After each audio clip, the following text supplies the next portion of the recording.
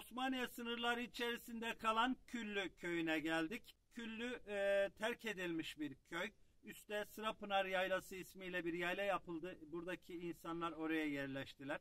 Şu anda Küllü'de Küllü Camii'nin yanındayız. Biliyorsunuz 6 Şubat'ta bir deprem yaşamıştık. O depremde görmüş olduğunuz gibi Küllü Camii'de nasibini almış. E, hemen hemen neredeyse yok olmuş, uçmuş bina.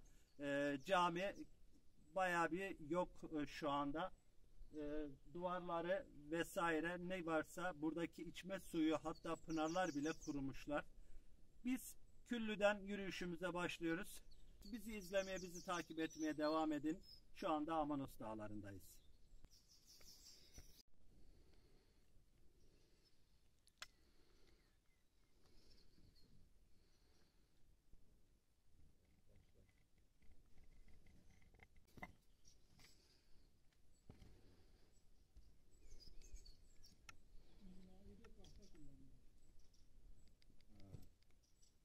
Eskiden kakıl derlerdi.